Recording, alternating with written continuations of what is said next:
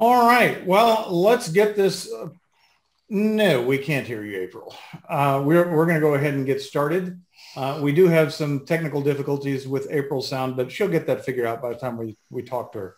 Um, first of all, want to welcome everybody to our first collaborative webinar that we're doing uh, with CORE and our, our strategic partners. Um, the whole intent of this webinar series is to bring together uh, multiple viewpoints around uh, a subject area. And if there are other subject areas that you would like uh, to, uh, to, be uh, webinar topics, um, please shoot us uh, a message in the chat. Um, we do have the Q&A. Um, if you have questions, please ask them. We will answer them as, as, as we go through the presentation, but we'll have an ending Q&A session as well. So without further ado, I'm going to uh, actually start with the lawyer because they talk the longest. Um, uh, and, and that way we can, we can kind of regulate this.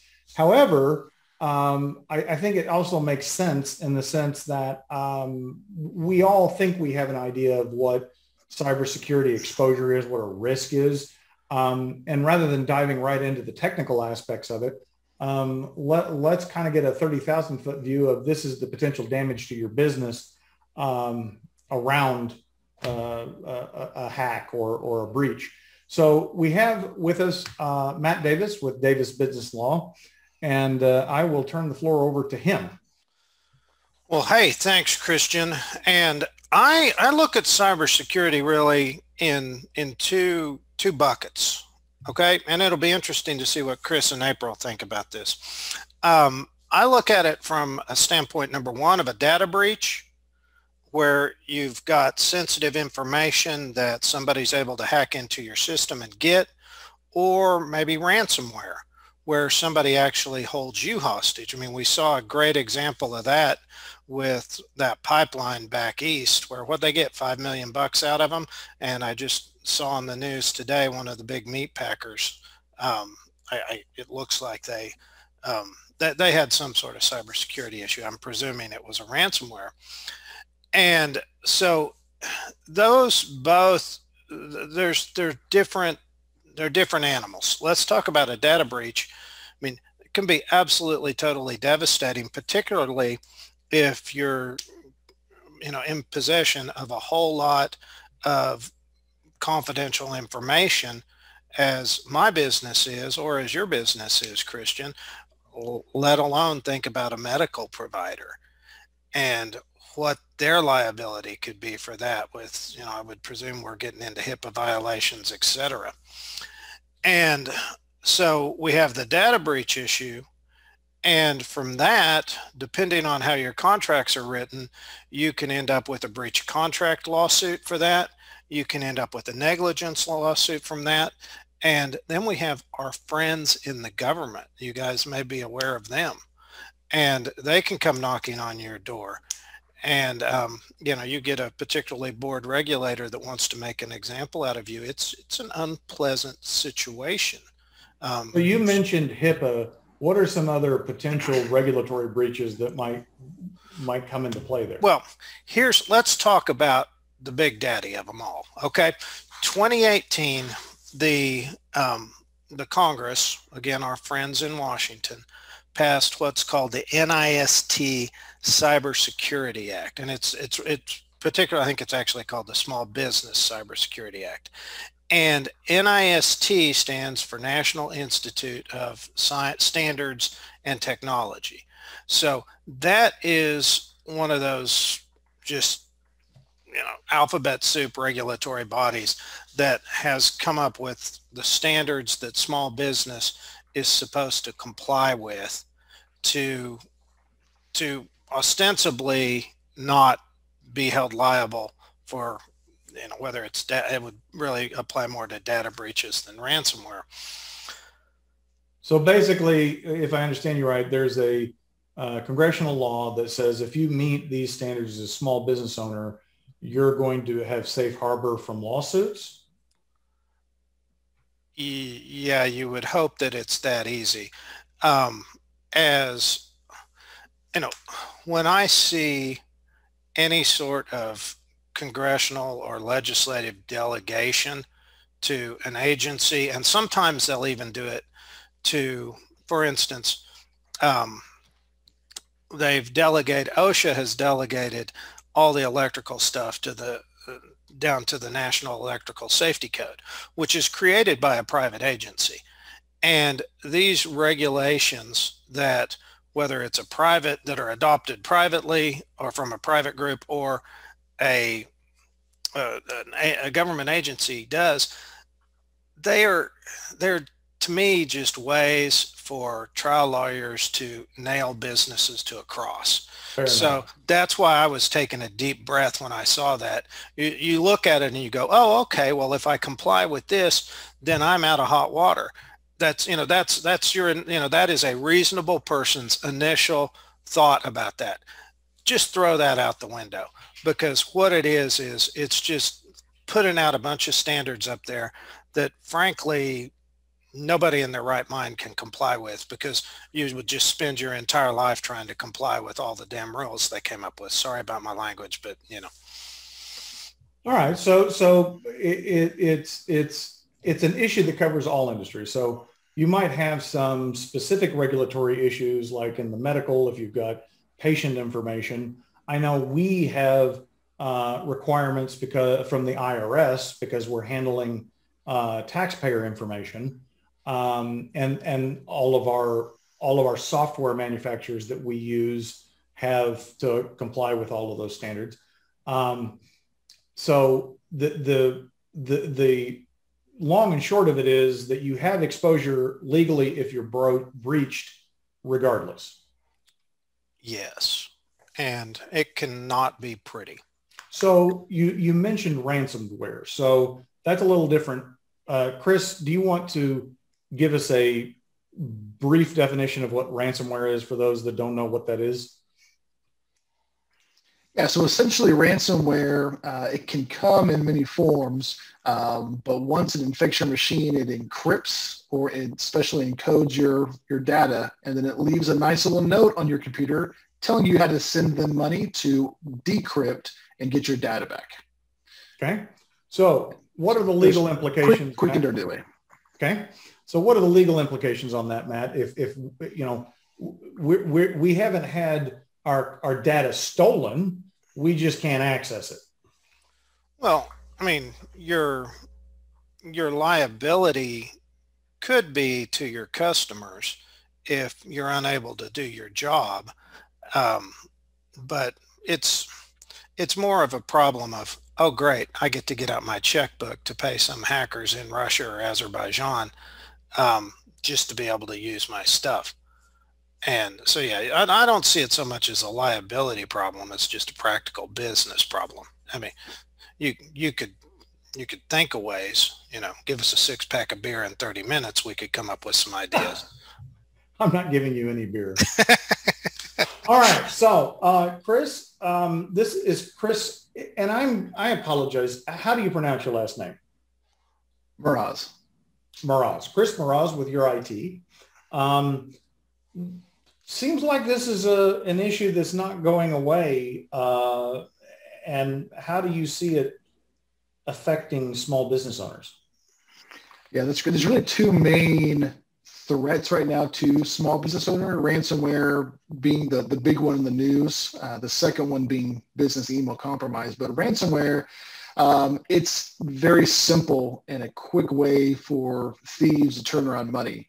Um, you know, we're seeing this in companies with three employees who have been around for 20 years, mom and pop stores, um, and then all the way up, as uh, Matt mentioned, to the Colonial Pipeline and uh, just announced the, the world's largest meat producer based out of Colorado. So, um, you know, ransomware is a simple way to to force companies uh, to pay essentially. Um, the the biggest, and I, I, should also back up and say, while ransomware traditionally is just to encrypt data and force someone to buy a key to unlock it, what we're seeing now, and the reason Colonial paid, is because they are stealing information. So whereas previously they weren't taking that data, now they are taking that data, not only holding ransom to unlock your information, but also blackmailing you to not release your information to the world, um, which is why we speculate that Colonial paid, uh, rumor is within hours of getting hit, um, $5 million just to prevent that data from being leaked to the internet. Which, so it's very so, simple. So which, for, which, which, you know, like I was thinking like if you, it, ransomware, my machine's encrypted, I can't access my data. The simplest solution behind, for that is is having reliable backup so that I can get that data. But if they're going to give it away, that's a whole nother ball of, of wax. Right. And so that's why we're seeing now, um, you know, what is that, those preventive steps and what's that, those measures we take to secure that proprietary information or in medical cases, you know, that personal identifiable, which I know, Christian, you deal with with uh, financial as well. Um, and backups are the quickest way to ensure you can get back up and running in the case that happens. Um, but now that they've put in that twist of, great, now you have your data back, but we still have your information. How much are you going to pay us to to not release it? Um, is kind of the big the big wrinkle that we're seeing now at this point. Um, so really, as you're looking to protect yourself as a small business owner, make sure that you review, and that's part of when when Matt referenced the NIST um, framework. It provides a framework for companies to to go, and part of that is to identify what data you have. So what do you need to protect? What do you need to kind of cordon off from everything else on your network? Identify what you need to back up so that if you have a, um, you know, a ransomware attack, you can get that information back quickly. How do you protect it? How do you detect that threat? And then how do you, you know, respond and recover from that? Uh, so, and backups being the absolute most critical way to prepare yourself in the event of a ransomware attack, which can come across as being someone targeting your business specifically or someone on your staff just happened to search the wrong term and click the wrong ad on the Google page. Um, it comes in all different shapes and sizes. So our our experience, and this is obviously a, a big issue for us and something that we uh, monitor closely, um, is I think the thing that I've realized is the you know the chain is only as strong as its weakest link, and the technology can be there, but the weakest link is almost always going to be the person. Um, Mm-hmm. So th- that person that goes to a website that they shouldn't, clicks on a link, opens an attachment in an email that they shouldn't. Um, how do you address the human element? I mean, if if we're talking about yeah. the weakest link. Yeah, you're 100% right. The vast majority, and I'm not going to make up a percentage, but the vast majority of infections or breaches come through the person. Um, I mean, hackers, it's a they're major corporations essentially. So you have these cyber criminals who have offices in Russia and act as corporations, um, training how to get past people. Um, and there's some fantastic staff security training available now from numerous organizations where you can send your staff through 30 minute, 60 minute training to identify attacks um, there's resources that will do monthly, weekly simulated phishing attacks to help your staff better identify what those look like. Um, and then there are services um, such as Microsoft has where uh, when you click one of those links in your email, a service will scan that link before it allows anybody to proceed to, to download that. So there's a number of training resources available as well as technology things. Um, and whether we're talking about business email compromise, where you have yourself or maybe a vendor of yours whose account's been taken over and they're sending messages to your staff, how you can identify those incredibly legitimate looking emails. Um, and honestly, what we find a lot of times is the quickest way to verify that is the old school way. Pick up a phone and call someone. Did you really, did you mean to send this to me? Is this from you? Did you really change your account information where I'm supposed to send this hundred thousand dollar wire transfer. Um, you know, so we say always err on the side of, of caution and you know pick up the phone and, and don't respond to the email, but you know verify another way. Well, I, will give a war story here. One of our clients, and uh, has been a couple of years ago, um, their their employee sent us on our form a change of bank account information. So we verified it. We knew it was right. We knew it was from the client. The problem was that that employee had got spoofed. She thought she'd gotten a legitimate email from her boss.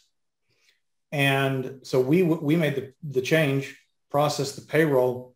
Uh, I don't know what this says about the owner not noticing for six months, but he didn't notice for six months that his paycheck wasn't getting deposited. Maybe it wasn't a large amount. I don't know. Any case, it, it, he didn't find out about it until he looked in his bank account and said, I'm not getting my paycheck six months later. Um, and I, I, think the thing I take away from this in my experience is it, it's about an attitude of diligence because it, it's, it's inconvenient, you know, two-factor authorizations and, uh, you know, picking up the phone to confirm an email. It seems like a pain in the ass, but the reality is these are very sophisticated criminals. Yeah. Any opinion on that? Yeah.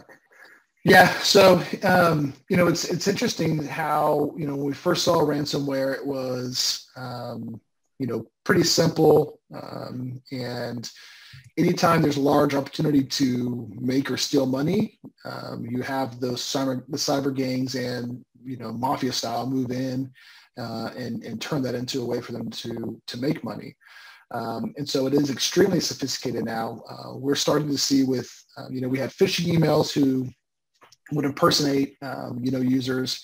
And now we're actually seeing companies who are targeting, you know, Fortune 100 companies are using um, dark web technology to essentially simulate videos and simulate voices of CEOs so that they can send out incredibly um, difficult to identify um, requests to people. Now, Will that come I want to sleep business? tonight. Who knows? But I want I want to sleep tonight. Yeah. helping me sleep.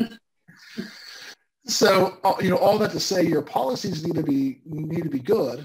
Um, you know whether it's double verification, um, and you also want to make sure that who you do business with, you ask them what their processes are. Um, just because uh, you know what we've seen, uh, we had a client who um, they someone set up an email account that was one letter different from their from their main account they use. Um, took over their accounts, uh, intercepted emails between their accountant, and then continued the conversation on this other email account that was one letter off, so very hard to identify. Thankfully, the um, the vendor they worked with had verification process in place, um, and so when the wire transfer for 50 grand came about, they called in the office to, to confirm that and you know identified uh, that it was actually a scam. So yeah, it's, it's also good to make sure that who you do business with is is you know trying to stay on top of it also. Well, that that's that's an excellent point, and, and Matt, I want to get your opinion on that as far as how how we can address that legally with our vendors. Um, but before before I, I get that, I want to introduce April Rhodes with Canopy Insurance, assuming April that you got your vi- uh, uh, um, audio to work. Let's hope so. Can you hear me Yay! now? so, um, April, we, we've talked a lot about the risk and how mm-hmm. we mitigate it. Uh, what happens if all of that fails?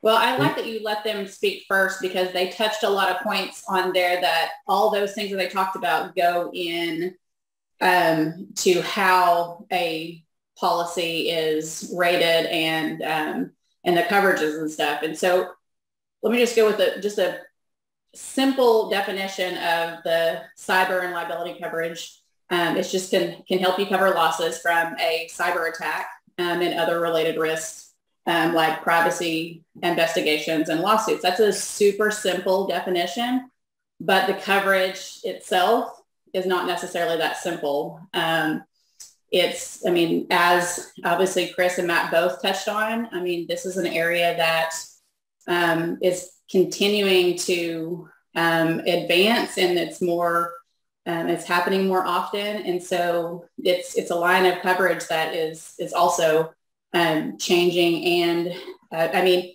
it's actually only been around since around in early 2000s, and so when it comes to actually writing these policies and underwriters writing these policies, you know, there's not a substantial amount of loss information, and so it's like I said, it's continued to evolve. So, you know, that what, what you, you told me right there tells me that the way insurance works is they come up with a new coverage and then over time they figure out how not to pay on it. So, I mean, I mean, that's, that's the reality is they, that, you know, they get experience, they get claims and they realize, oh, well, we need to write this into our, our contract and exclude this. Uh, yeah. You know, we, we want to exclude pandemics. Uh, we didn't have that one in there. Right. So, right. Yeah, uh, you're exactly right. That is something that, I mean, every line of business uh, of, of insurance coverage, it is ever changing. I mean, like you said, the pandemic, all of my commercial policies will now have virus and bacteria uh, exclusions on them. So there are things that those, I mean, like I said, every carrier is going to have different packages, different coverages for cyber and all commercial insurances, but there's always the coverages, the limits in which you have limits of coverage and exclusions. So, so what are, what are the, what are the typical coverages on, on a, on so as I said, this is out of all coverages too. This is not necessarily a one size fits all as if you had like, say you had a lawn company, you know, two lawn companies, their policies might look exactly alike. However, with the cyber, that is different. But a lot of the coverages in which that they provide are like the data restoration, which would be like the cost to replace or restore the electric, the data, um, loss of income. Sometimes the loss um, covers the losses sustained within that within that that shutdown. Um, those are definitely some of the the main ones. Ones but, that we. But one thing you didn't mention was legal coverage. So yeah, if if my if my um, customers sue me because their data got out, does that get covered? There are some coverages with that. Um, one thing that's different too about um, cyber coverage is each type of coverage. Like I said, that um, whether it be the ransomware, that's something that can be covered. Also, um, paying those people to get get that to release that information that's been encrypted. That one of the things that they do that Chris was talking about. Um, they each have their different line of uh, different limit. And then one of the other ones would be crisis management. That's another one. And that's where you're going to coverage that um, computer forensic team that will actually help identify um, what the breach, where it came from, and then attorney fees and public relations and things like that. So what are the dollar limits on those coverages normally? You know, I mean, I've seen one, like I said, each each area of breach or a covered um, um, item has its own. I see a lot, I mean, a million dollar on, on each one of them. The thing about them is they each have their own limit, but the whole policy, which includes all those coverages, has one aggregate. So they don't each have their own aggregate limit. In so other that words, would be an issue. If, if there was a ransom, I'm sorry. So if, if there was a ransomware and I made a claim on that policy that uh, the ransomware caused my computer to fry and start a fire and all of my contents were destroyed. That's all going to be one event and one coverage. I know that's crazy, but yeah, that I like. I don't know that that I've heard of that happening, but you know what? I nothing surprises me anymore. Which uh, things that happen. Okay. Um, what are the things that you said an underwriter? Um, the underwriter is the person that makes the decision to issue the policy. Um, yep. What kind of things are they looking at when they're deciding how to price a policy or whether to issue it at all?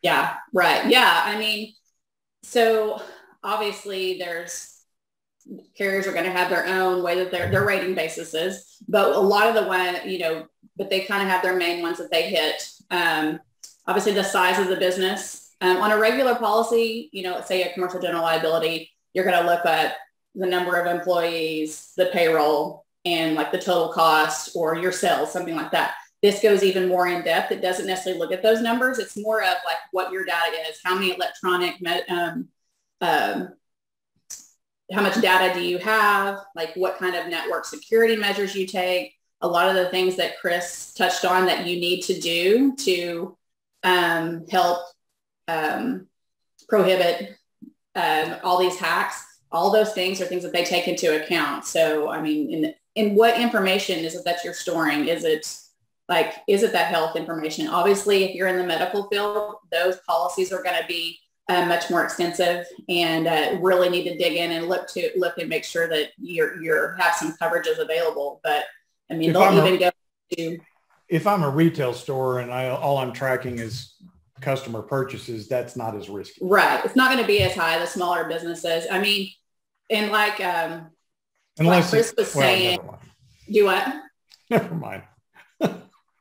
Uh, but they'll even look at your website. I mean, like, are your is your website just information only? Is or is it accessible? Or do you do transactions on there? All those things, I mean, are things that they take into account when um, when deciding a whether to write your policy, which they will. It's just more into the what's the premium going to be. Now, Chris, I have a question I'm putting in the queue for you around. Uh, she said devices, and it made me think of mobile. So I, I want you to um, kind of come back. I'm going to come back to you on on specifics around mobile technology. Uh, and and Matt, you can answer this from a legal standpoint as well about like what what we should do. Um, should should we provide devices to our employees for business use and, and make sure that they meet some standard? Can should we do that? Can we do that? Can we limit what they do on their own device, et cetera. But my first question back to you, if you if you recall, um, was shit. I've already forgotten what it was. What was it, Chris? I was talking to you, so I can come back to Matt. Now, uh, I, Matt, I did, didn't note it. I'm sorry. Did, do you remember what question I posed to you? And I said, put a pin in it. All right. Well, then just answer that one about employees. How can we legally protect ourselves with our employees and their actions as it relates to cybersecurity? I'm going to punt that question to Chris because I'm more interested in how you can practically uh, protect yourself because I think you guys have figured out that this has me generally terrified. Um, well, it should. Yeah, it, it does. It keeps me awake. Yeah, it, it does, and you know, I have I've noted several delicious moments of cynicism, you know, from all four of us on this panel. And I'm, you know, I'm more concerned about how you just practically prevent it.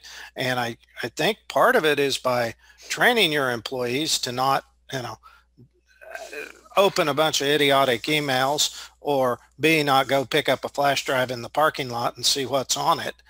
Um, yeah. And yeah, yeah, that's that's a good good advice right there. I, I heard a story once about one of the big tech companies that had the, the, the the cyber criminals were just leaving flash drives around the parking lot, and one of their employees just plugged it in, and bang, there you go. Well, let's see what this is. Ooh. So, Chris, what, what what are your thoughts on on practical uh, ways business owners? What what what can we leave here today with? What can what can I do and, yeah. and specifically around uh, mobile devices.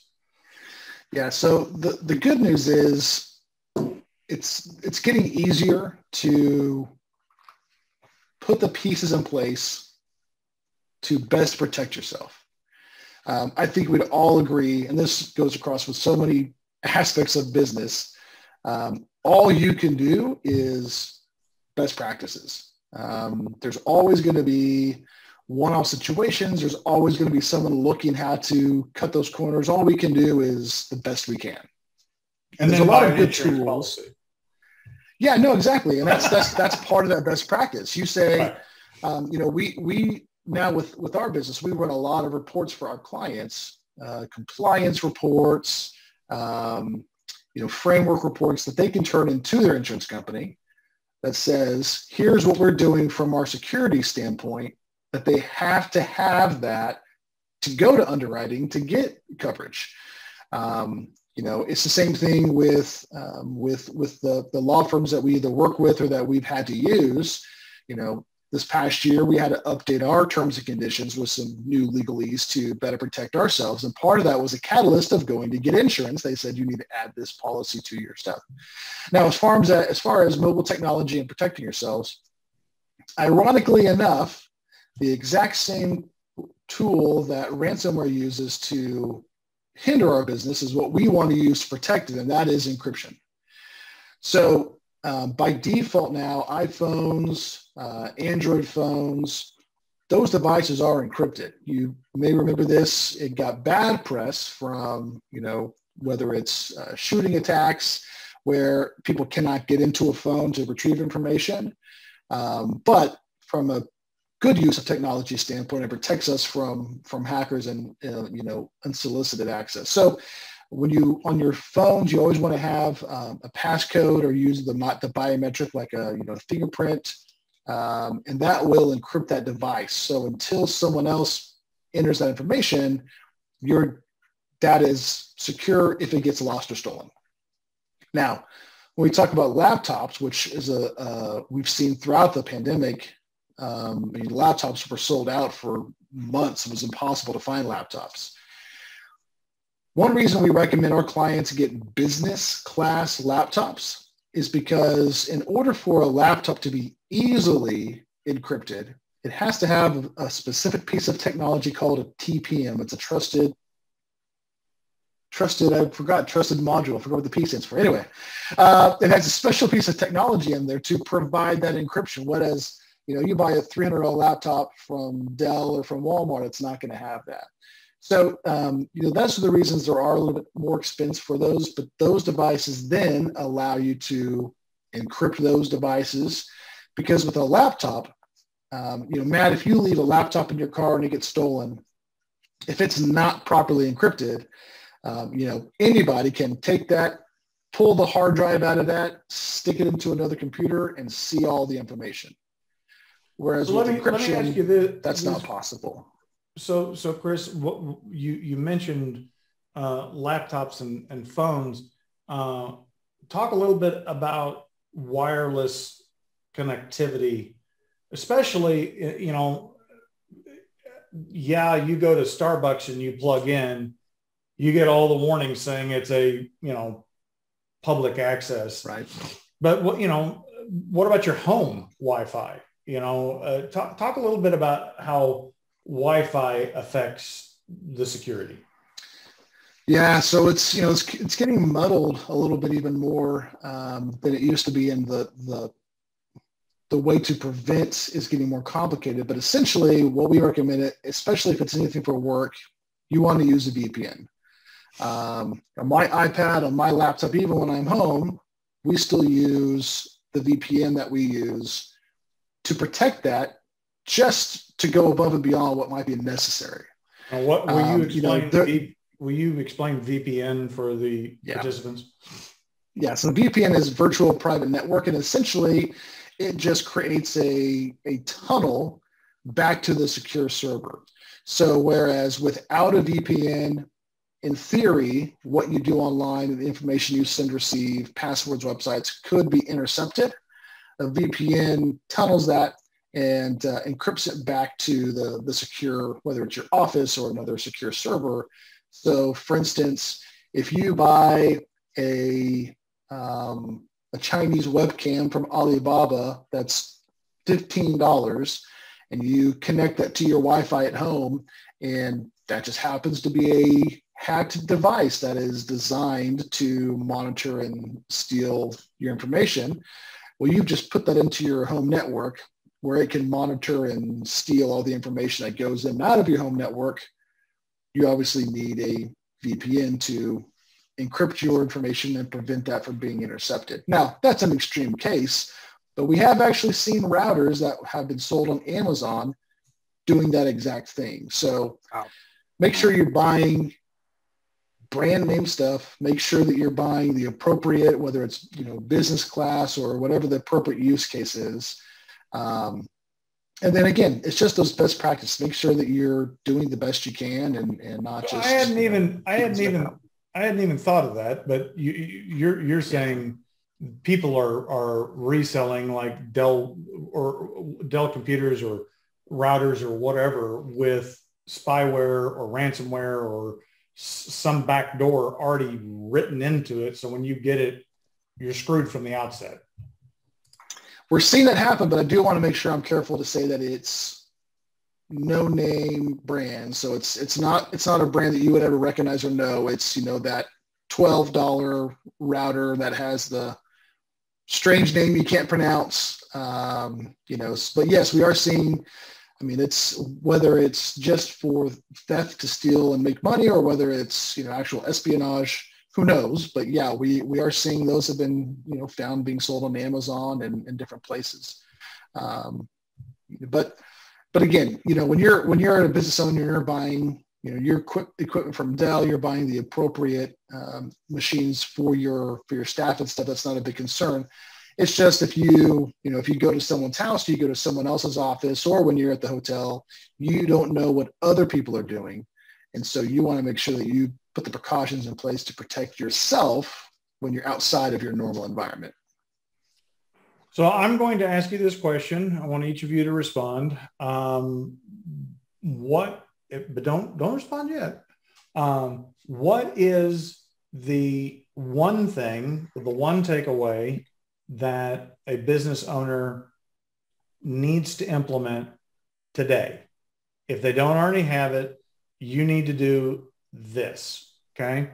Uh, before I have the panelists answer, I'm going to give uh, the opportunity for any last Q&A, any other questions that weren't answered that you have.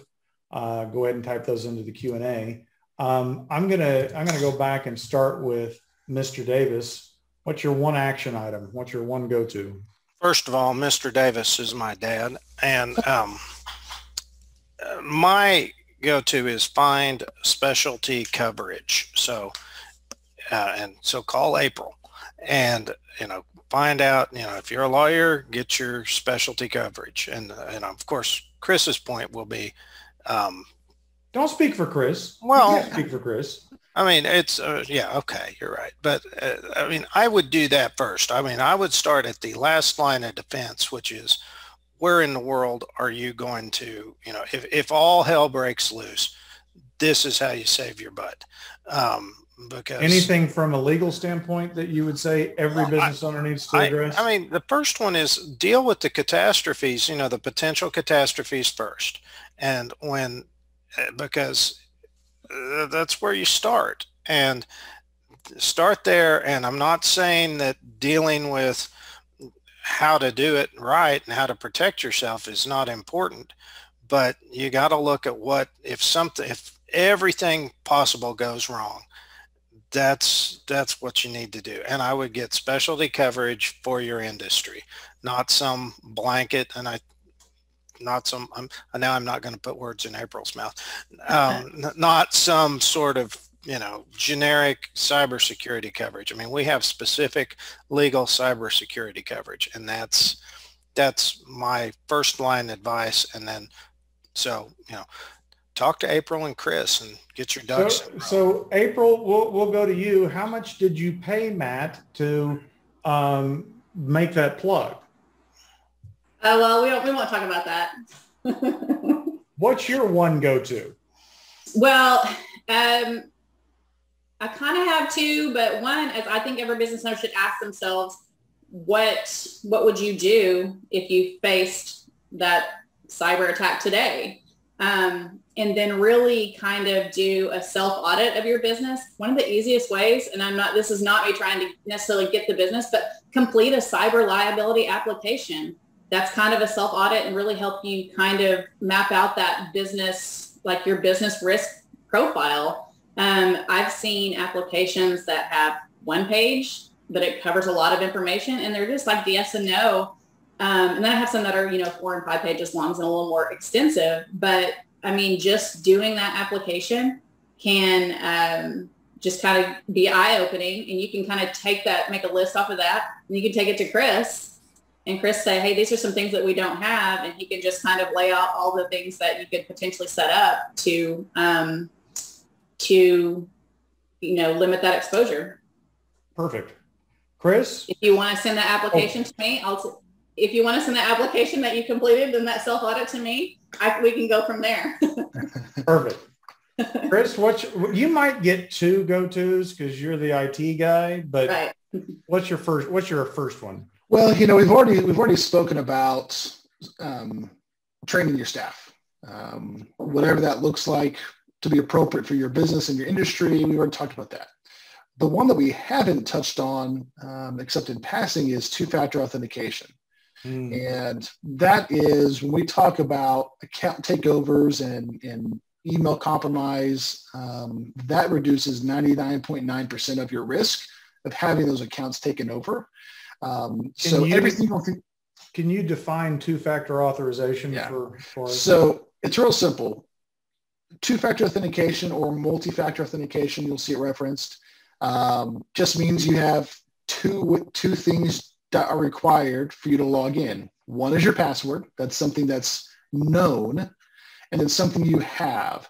So whether that's a phone or a secure card or, or a plug-in device. So essentially when you go to log into your email or to Facebook or to Dropbox, you put in your password and then a password pops up on your phone or a, a one-time use code pops up and you have to also type that in Got to it. verify your identity. Okay. So we've done this for years and years and years and years at banks when you have that little, that old school um, RID token that you keep in your desk drawer to, to punch in the code. Same, same thing. Um, it's just, you know, now it's more, more technology driven. Um, obviously, your password is not secure anymore. Someone in China, someone in Russia, they have your password, accept it, move on. So now that we know your password is not secure, we have to have something that you personally have with you to verify your identity. So that's the two-factor authentication is. So someone tries to log in, um, they can't do it uh, because they hopefully don't also have your phone. Perfect. So that's the biggest thing. Everything you can, every account that you can turn two-factor on, do so. Perfect. I will leave you with my two. Uh, actually, I'm just going to do one going back to our, our go-to tool that we've implemented, and I don't know if you've worked with this vendor or not, Chris, but uh, we use KnowBe4 for our mm-hmm. cybersecurity training. Um, it's not prohibitively expensive. Um, it, it really isn't. It's it does require effort on everybody's part to complete the training, um, but it has a lot of the features that Chris mentioned as far as testing users' response to emails and helping you come up with a, a, a education plan and, and all of those things. So KnowBe4, I think it's the number four, um, is, is my, my tip or trick. Um, I have one last question. Ah, no. All right. Chris has shared his, his, his uh, booking link uh, in the chat. Um, I will. Yeah, that's actually for that's actually if you want a copy of a book that we have written about oh. business email compromise. Oh, nice. Perfect. That's awesome. All right. Well, I appreciate the panelists' uh, participation. You guys were awesome. And um, I will end the recording with a wave. We wave until the camera is off.